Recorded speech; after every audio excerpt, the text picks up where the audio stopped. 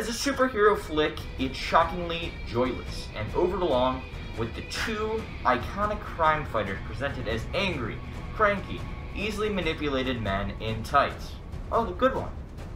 To be fooled into believing what we see on screen is part of a cinematic experience, and Snyder has failed to fool us. And it comes in Spanish. A beautiful shell with nothing inside. Also, this review comes in Spanish. Basically a long, tedious, and angry teaser for what DC has in store for the future, and by the looks of it, it will be dark, gritty, and poorly acted. And finally, it does also come in Spanish.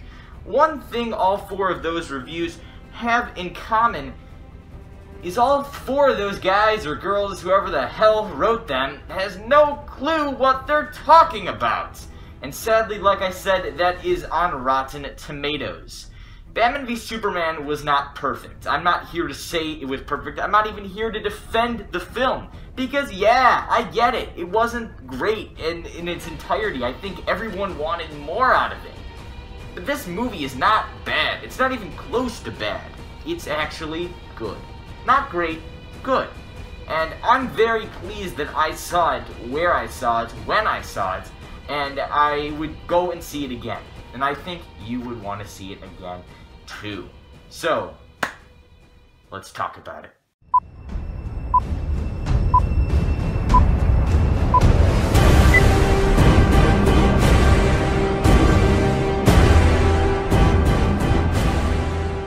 Hey guys, it's Ryder here, and with finally my review of Batman v Superman. So just a quick reason as to why I didn't review this film last week when it came out. I've been on vacation, I've been busy. When I go on vacation, I don't bring my, my laptop, I don't bring my equipment, so I, you know, just didn't get my review up until now. But finally, here I am. Um, and I had a great time watching Batman v Superman. Like, as you saw, like I read you those reviews. I, I those are just like four. The top, like those are the first four reviews on Rotten Tomatoes. That's not good. It has like a 29% in Rotten Tomatoes. Batman v Superman seemed to be a disappointment for a lot of people. But if you fell in the category of me, or where I fell, I really enjoyed the movie for what it was. And I think part of the reason so many people didn't love the movie so much is because they didn't quite understand it. And uh, I think that'd be my biggest complaint about Batman v Superman. It was so intricate that you really had to really dig deep and think and kind of connect the dots from here to there and have even, I really believe you needed to have some history of the comics or at least know what might happen, like, especially with the Flash cameo. Because it's like, well, how do you, if you don't know that he's gonna be there, and he, you just see some guy in a, you know, with like a mask on, who's coming out of a, he's coming right out of like a what is it like a window or something and and he's telling you know Bruce Wayne find Lois do this. And I mean people were confused. Also I think a lot of people were maybe surprised with the ending. Just minor spoilers here right now. I mean there's will be spoilers throughout this whole review but right here especially okay. Superman dies. I mean I know a lot of people were like what the hell you know? Superman doesn't die. Um, you know they really combined a lot of storylines here I think that's kind of what made it so hard to understand. You had like Death of Superman with Doomsday, you had The Dark Knight Returns, you had Wonder Woman coming in, you had like Man of Steel 2, as people like to call it, with Lex Luthor, and then you had like your Batman kind of introduction, and it was just a lot going on. Um, for me, you know, I I knew what was gonna was supposed to happen. I knew that I was going to enjoy the parts with the Flash and Aquaman and all that the Justice League setup, and I did appreciate that. I did, um, but I do admit that it was a little bit challenging. I personally think for them to kind of introduce so much. Uh, and I, I, I don't know. I think they did a good job for what they could have done with the Justice League setup. Um, I, I, I just think it was hard for the audience to understand it, and I think that's kind of why it, it's getting such low and more negative reviews. Kind of moving on to the tone of the movie, I thought the tone was perfect. I I get my fun, kind of spunky, kind of having a darker side, but mainly just kind of that fun comic booky vibe from Marvel movies. That's what I get from that. And I love that feeling. I love that kind of, oh yes, you know, Iron Man and Cap and Spider-Man and Hulk and yeah, here in DC, we get more, eh, they tried to make it more realistic. I mean, as realistic as possible. I mean, you got an Amazonian and then you got a, a Kryptonian and then, I mean, it's hard to kind of keep it realistic, but it has a darker tone that makes you feel like, hey, maybe, maybe superheroes could live and exist in that world. Like, maybe that would work. And I like that a lot as and I like that a lot as well. So, um, you know, just from there, you know, I think the best parts of the movie were Batman, of course, Bruce Wayne. I know a lot of people are saying that. I love Ben Affleck as Batman, really. You know, I, I was actually just rewatching some of the uh, Michael Keaton, uh, Tim Burton, Val Kilmer, George Clooney. I've been kind of rewatching some of those.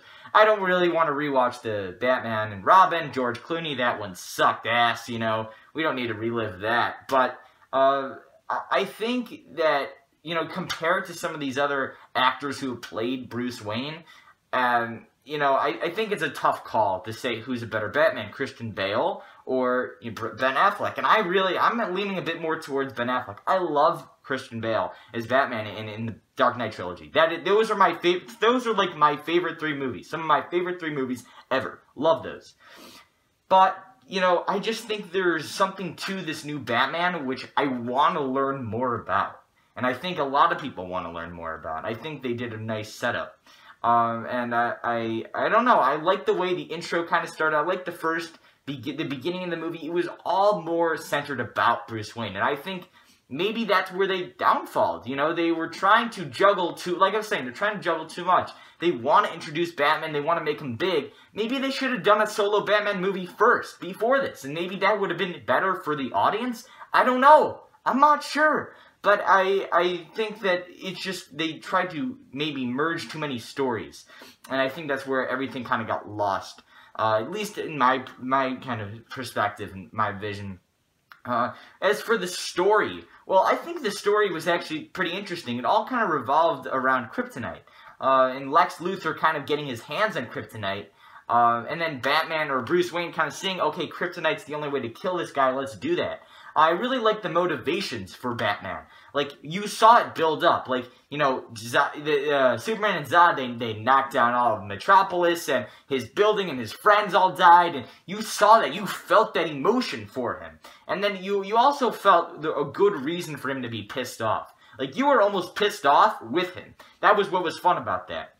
Motivations for Superman, they weren't there. They, they, they tried to be there, but they weren't.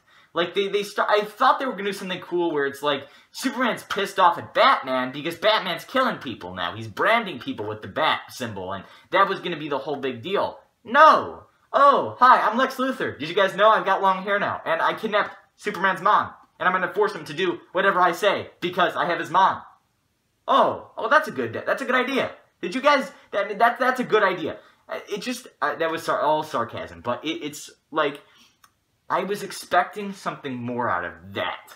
Like the whole battle. Like you put that V in there. It's it's Batman, V, and then Superman. I get it. There's no S there. It means it's not a full-on versus movie. But it is there's that V there. And that means that they should be fighting for a good portion of the movie. And they fought for like, I don't know, 15 minutes. And hey, I enjoyed that. I enjoyed the shit out of that. But I really was hoping for them to just go in it a bit more uh, and, and kind of just show me that they've got the guts to do something that we're never really. I I don't know. I just I think this was the opportunity to show like the battle of a lifetime, and they showed it, but not in its full entirety. That's that's kind of where I'm coming from with that. As we move into Wonder Woman, Wonder Woman was probably one of my favorite parts of the whole film. Gal Gadot, I don't care what the hell you guys want to say about her. Oh, she can't act, or you know, she's she's bored, she's bland, she's you know, sandpaper, all this bullshit. Not a chance. Not a chance. May yeah, maybe she didn't have the opportunities to kind of show more emotion with her lines. I didn't give a shit about any of that. She came in there and she kicked ass, even when she wasn't wearing her all her whole Wonder Woman getup. It was so much fun to see that because I I've never really been that excited with the Wonder Woman character. And you know, uh, maybe maybe some people will, will write in the comments, oh, you know, you're you're anti-feminist, you don't like Wonder Woman, all that. It's never been that I dislike the character. I just never cared about the character. She just was like, oh, okay, that's cool. She she's cool. That I like that. I like her in the Justice League, but she was never like so significant for me. Where I'm like, oh, it's Wonder Woman. Oh my God, Gal Gadot changed that. That's that's how significant her performance in this film was. Like it got me so excited for what's to come for the Wonder Woman movie. Not just that picture we got with her and Steve Trevor and from a hundred years ago or whatever. I'm talking about when she is when she, when she's fighting Doomsday and she's she picks up her sword and she's like ah and then she she like flies. Like what? Yeah. It was that it was it was so fun to see that happen. I loved her chemistry with Batman. We didn't see too much chemistry with Superman really because well she only met him at the end and then was she like, "Oh, is she with you?" Oh no, I thought she was with you. Okay, so then then we then she kind of is introduced in that way. But you know, we don't get to spend that much time with her and Superman because well, Superman's killed by Doomsday. Uh, you know, it, it was it was fine. The Doomsday fight, I'm not gonna lie, it was epic. It was one of the best superhero fights I think I've ever seen on screen. It was amazing, okay? But it, was, it just, the whole Doomsday element, it was ruined for me with the trailers the whole surprise Wonder Woman thing was ruined for me in the trailers, and I think that that was a big downfall. You know, I knew what to expect. I I knew from the beginning who's. I was like, who? So I was trying to figure it out. If Zod was gonna actually become Doomsday, like we heard in the rumors, or if it was gonna be that Walter Keefe guy because he didn't have legs, maybe he'd be mutated somehow with to have legs again. I don't know. I don't know. But I, I think that it just, it was too much. I already knew it was going to end. I knew the end goal. I didn't know Superman was going to die. They had some balls to do that. Uh, but, yeah.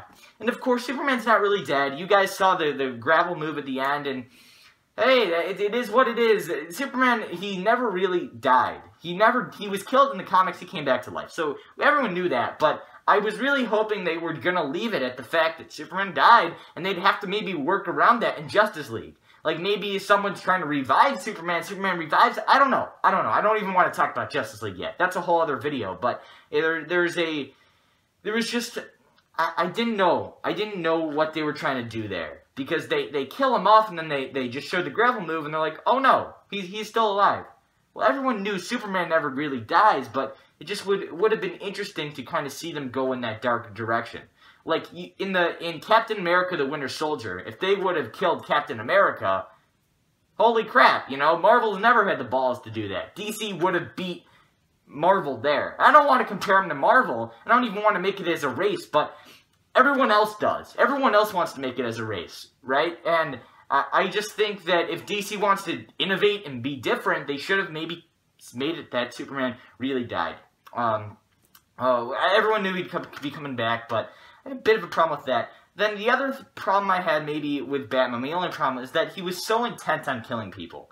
Um, and it was a small problem because I, I didn't like it, but then I kind of realized why Batman was doing this. He was being this way because he'd been being Batman for 20 years, and I get that. And I want to understand how he got there. And that's kind of where I feel like a Batman solo film would have been nice to see before this movie.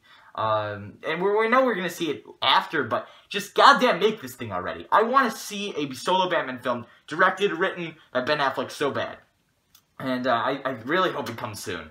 Uh, overall, this movie, I, I don't know what, what you want me to say about it, because I, I, I said it. I, I think it's a good movie, because I, I did have a good time watching it you know, the editing choppy at times, you know, because you're, I think there was one scene where it's Lex Luthor talking to uh, Sen the Holly Hunter character, the senator, and they're having a conversation, and then it just cuts to Batman doing something else. Like, actually, like, I think he's driving the Batmobile. I'm like, what the hell is that? That's not good editing. It's like kind of a peaceful scene, kind of chopped right off, and then Batman just shooting.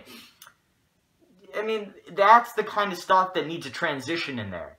Uh, if you want, I'll, I'll, give you my thoughts on Lex Luthor. Jesse Eisenberg is Lex Luthor. I appreciated the effort they were trying to do. I appreciated what they were trying to do with this version of Lex Luthor. Did I like it? Mm, it was okay.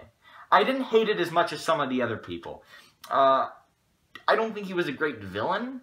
I think he's a fun character, and I think that if they decide to maybe use him in a better way in the future, he could be interesting he had a bit of a freakish kind of he, he tried to be this kind of weird creep guy, which I think pulled off, but at the same time, I think he had a creepy element to him. One thing that got me worried, I believe it was like three four months ago, Jesse Eisenberg, he was talking at a press conference or something like that, and he was saying, I'm not trying to be the Lex Luthor from the comics. I'm trying to be, be the character that's written for me. I'm trying to create the character that's written on the script. And that's what kind of worried me, because that led me to believe this Lex Luthor, who is a very fun character, is not going to be there. He's not going to be, he's this new version. So hopefully if they decide to use him again, they use him in the better way. Uh, I don't know if they ever will, though, because he created Doomsday. There's nothing more he can really do that's big. Uh, I don't think I'm forgetting anything. Like I said, the Justice League things, I really had a good time watching the, the Justice League cameos, the Flash cameos, all of that. I love that. Uh, I, I just think it was kind of, it wasn't shoehorned in there. Don't get me wrong. It wasn't shoehorned in there. Uh, but I do think it just created some confusion for the rest of the audience. And I think it could have used some more setup maybe either in Man of Steel or even just more throughout the whole movie. Uh, I like the way this ended, though, aside from the whole Superman coming back to life dead thing. I like the way Batman and Wonder Woman are like, okay, well, we're, we're gonna be, well, you know, we'll, we'll find these other metahumans now. Uh, the whole thing with Darkseid, we already saw it coming, the ping, ping, ping, and I, I like that Lex Luthor knows about it. I'm excited for uh, Darkseid to come. You're probably wondering why I didn't talk more about Darkseid in this review. It's because I have maybe 11 other videos that are coming out like this very second. Um, and I did a, I'm doing a whole Flash Knightmare breakdown, so you guys uh, get that. Very much fun. I had a great time watching this movie. It wasn't, you know, I wouldn't say it's the best superhero movie that's ever going to be made. I'm not going to say it's the best superhero movie that's ever been made. Um, but it did its job. I, that's what I'll say. It did its job. It made a ton of money. It's going to continue to make a ton of money. And I cannot wait for Wonder Woman and Justice League. So let me know in the comment section your thoughts on the movie. I'm going to give it like a 7, 7.5 out of 10. Uh, I had a good time watching it, but like I said, it, it did have its downfalls. So let me know what you guys thought, and uh, thank you guys so much for watching, and I'll be back with a bunch of other great Batman v Superman DC Extended Universe videos coming very, very, very, very soon. I'm Ryder, starting off with toys with attitude, and uh,